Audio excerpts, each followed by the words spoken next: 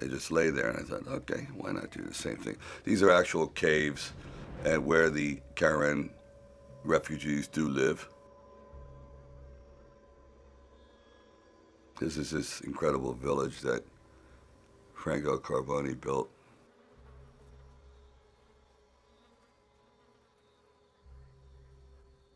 Going into pre-production, I knew pretty much what Thailand was like, having been there before, doing the stick fight in Rambo, which was really an interesting situation in itself.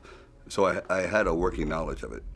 But it had changed so much that I also knew we had to go there. We looked critically at the previous Rambos, so we had to sort of decide um, afresh what we really wanted this one to be and why this and why now. So the idea of trying to create a new look, I said, well, no, maybe we should be retro. Let's go. Let's go back to an area of Burma and Mae Sot, which is in Thailand, that kind of like has not changed. It's kind of unevolved.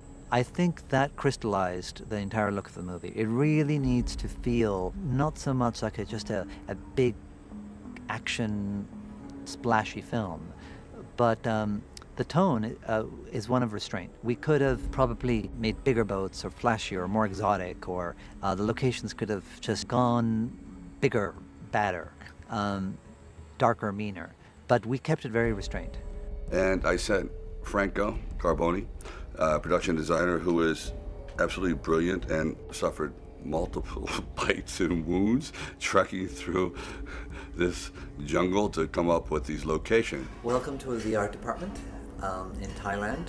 So what you see though is pretty ambitious production design because it started from nothing. Uh, you'll see, you know, a pretty open area. This was old jungle, uh, quite thickly forested, um, which we unfortunately had to level uh, to create this open compound area. Entire jungles had to be carved into villages without destroying the land. So all of a sudden, as information was coming um, in through the surveys and we started beating down the bushes, the design started falling into place and it inspired action. So it was a great way of sort of evolving uh, the sequence, really, because on paper it's very dry.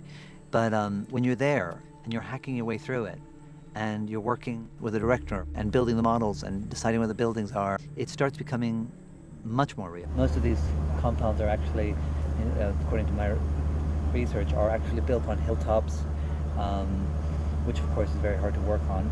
The entire compound was going to be set on this hill, and Tint's hut was going to be on the top of that hill with a great big vista of the rest of the compound. The rains are coming down, which are literally washing away the villages. And we couldn't get equipment, couldn't get trucks up because of steep inclines. To shoot in the rain, in, in the mud, in, on, a, on an incline for as many days and weeks would have been absolute hell. We'll take the military compound, move that into the jungle, take the Karen village, which was in the jungle, move it back up on the mountain, which doesn't have a lot of trees, since there isn't a rainy scene there.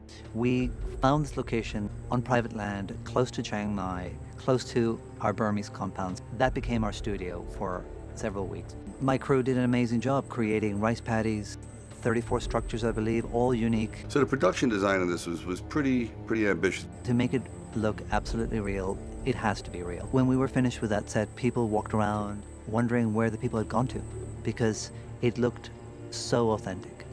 Um, it was the biggest compliment. Sets are beautiful. I mean, Franco did an amazing job building um, the, the, the Karen village and making you really feel like you were in that world. When I found out that they were that they literally were jungle before anything happened, that you know these guys cleared it and then built these living, real communities was phenomenal. Made my work infinitely more easy. It, you, it would almost be impossible to not uh, feel like you were in the real place because for all intents and purposes you were.